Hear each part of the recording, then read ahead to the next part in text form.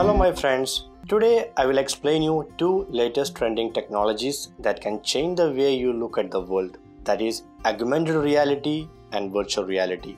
The terms can be confusing. Sometimes people think augmented reality and virtual reality are the same thing. Today we will make it clear.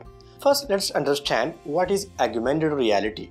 Retailer IKEA created an application that helps shoppers to visualize how certain product will look like in their home before they purchase them. The app overlays virtual version of the product onto the real life images of customer living space so customer can have a look how it is suitable to their home.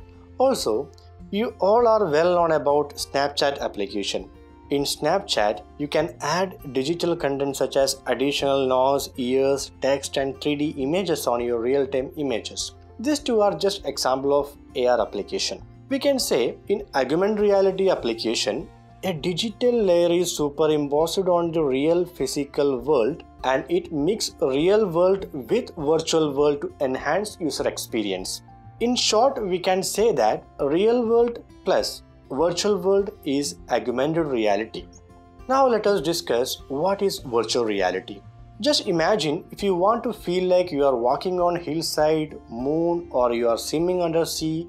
Using VR applications, you can move to enter virtual world and you can feel like you exist in that virtual world. In short, we can define virtual reality is the use of computer technology to create a simulated environment and make you feel like you exist in that environment. It is done by simulating as many senses as possible such as vision, hearing, touch, vibration, even smell. Now let us see brief history of augmented reality and virtual reality. In 1968, a Harvard professor and computer scientist, Mr. Ivan Sutherland, created first head-mounted display called the Sword of Damocles. With this device, a user experienced computer-generated graphics that enhanced their sensory perception of the world. In 1990, a Boeing researcher, Mr. Tom Caudell, first coined the term augmented reality. Now let us see brief history of virtual reality. In 1957, virtual reality was first achieved to some extent by a cinematographer Mr. Morton Heilig. He created a device Sensorama. It is the first virtual reality machine. It combined multiple technologies to create all of the senses. There was combined full color 3D video, audio, vibrations, smell and atmospheric effects such as wind. Later in 1987, a computer scientist, researcher and artist Mr. Jaron Lanier first time coined the term virtual reality. Now, let us summarize the difference between augmented reality and virtual reality. In augmented reality, a digital layer is superimposed on the real physical world. In virtual reality, computer technology is used to create a simulated virtual world. In AR, it is a mix of real world and virtual world. In VR, it creates entire virtual world. In AR, a user can clearly differentiate between real world and virtual world. In VR, for a user, it is hard to differentiate what is real and what is virtual. In AR, user is not cut off from the real world. In VR, user is completely immersed in artificial world. He is cut off from the real world.